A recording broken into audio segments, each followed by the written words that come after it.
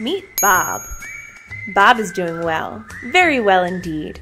That's because he's helping the planet.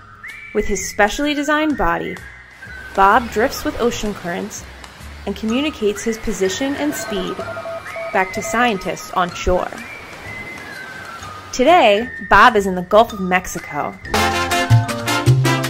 Sometimes, if the conditions are right, he can get stuck in what is known as the loop current. In the loop current, Bob meets larval lobsters from Mexico.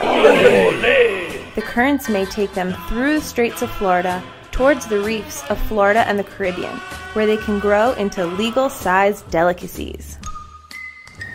If there's a hurricane, Bob doesn't evacuate, he stays and measures valuable data about the violent surface currents. Thanks, Bob.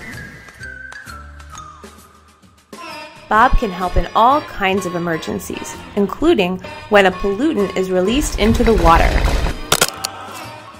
Bob drifts with the yucky stuff in the ocean currents and sends his data to be fed into computer models that help scientists predict its fate.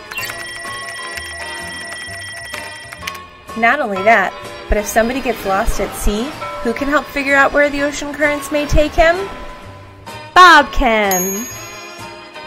To track Bob and his friends and to learn more about what he does, visit carthe.org.